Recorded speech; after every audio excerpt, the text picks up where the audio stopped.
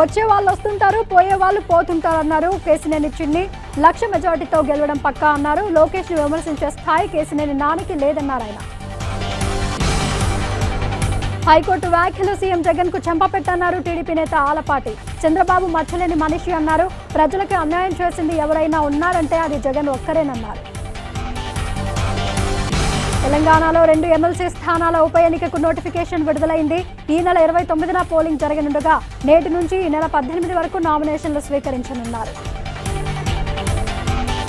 తెలంగాణ సచివాలయానికి వెళ్ళిన Google vice president Chandrasekhar తోట సీఎం రేవంత్ రెడ్డిని కలిశారు. అదేవిధంగా మంత్రి శ్రీధర్ బాబును కలిసి పలు అంశాలపై చర్చించారు.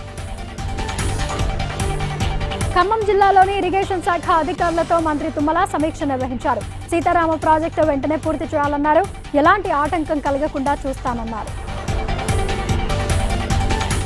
మేడిగడ్డ ఘటనపై ప్రభుత్వం కోరితే కేంద్రంతో మాట్లాడి సీబీఐతో విచారణ జరిపిస్తామన్నారు బండి సంజయ్.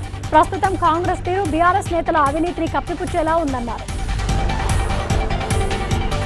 కాంగ్రెస్ అబద్దాల ముందు బీఆర్ఎస్ చేసిన అభివృద్ధి ఓడిపోయిందన్నారు మాజీ మంత్రి కేటీఆర్. కేసీఆర్ చేసిన డెవలప్మెంట్ ప్రజలకు తెలియజేసేందుకు స్వేదపత్రం రిలీజ్ చేస్తామన్నారు.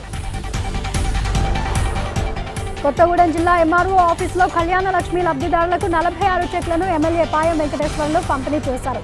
బూర్గంపాడులో వరద బాధితులకు పక్కా ఇల్లు నిర్మిస్తామన్నారు. తిరుమల శ్రీవారికి ఐదు లక్షల తొమ్మిది వేల విలువైన వెండి గంగాలాన్ని బెంగళూరుకు చెందిన ఎన్జీ రెడ్డి విరాళంగా సమర్పించారు. అనంతరం శ్రీవారిని దర్శించుకొని మొక్కులను చెల్లించుకున్నారు.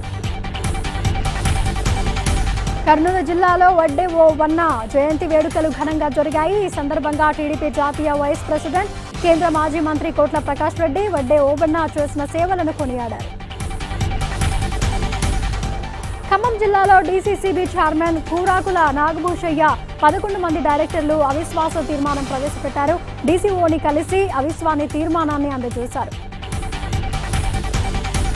రంగారెడ్డి జిల్లాలోని అగ్రికల్చర్ యూనివర్సిటీలో విద్యార్థులు ఆందోళన బాటపట్టారు.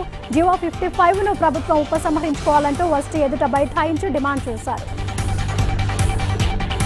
విదేశాలకు వెళ్ళేందుకు నకిలీ డిగ్రీ సర్టిఫికెట్స్ కొనుగోలు చేసిన యువకుని ఎల్బీ నగర్ ఎస్ఓటి పోలీసులు అరెస్టు చేశారు. కర్మన్ ఘాట్కు చెందిన మణికంఠపై కేసు నమోదు చేశారు.